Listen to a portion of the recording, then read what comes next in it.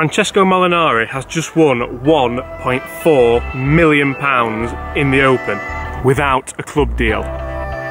Let's discuss.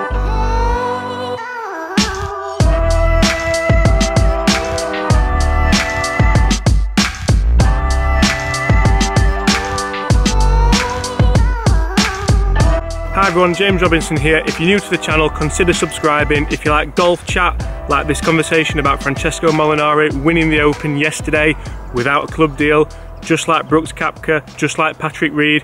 If you like free golf tips on how to improve your golf game, yes, you sat there or stood there on the train, on the bus, on the aeroplane, if you've got free Wi-Fi on the aeroplane.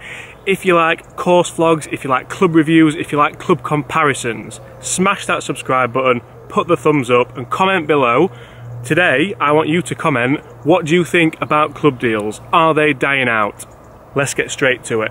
So yesterday, Francesco Molinari won the Open Championship. The only club in his bag which he has a deal with was his Bettinardi putter.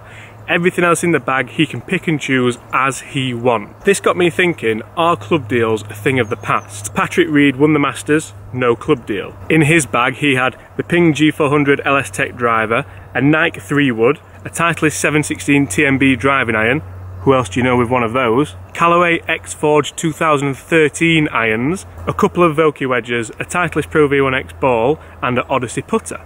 Again, none of which he's getting paid to use. However, the check at the Masters and appearance fees after that will soon make up for that.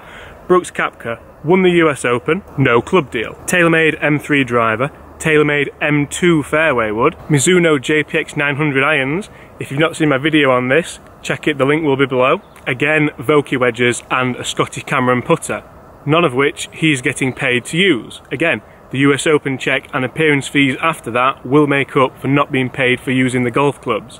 What did Francesco Molinari have in his bag this week that he won the Open Championship with?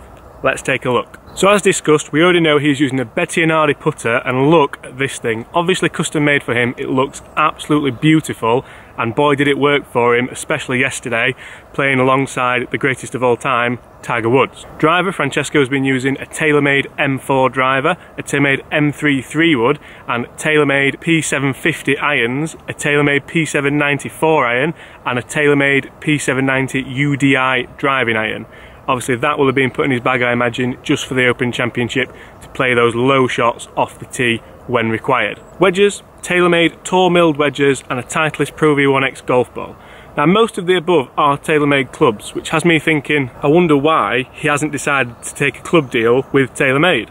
Maybe they're demanding he would use a TaylorMade putter, maybe they're requiring he would use a TaylorMade ball, I don't know. However, his decision not to take the money and not to have a club deal has paid dividends as he is now the first Italian ever to win a major championship. Congratulations, Francesco Molinari. Comment below, what do you think? Are club deals a thing of the past? That's been a short video on your champion golfer of the year, Francesco Molinari, what's in his bag, and also what is in the bag of the other two major champions for 2018 so far, none of which have full bag deals.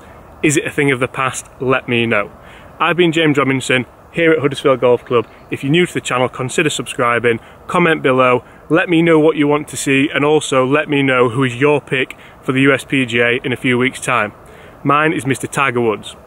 See you soon.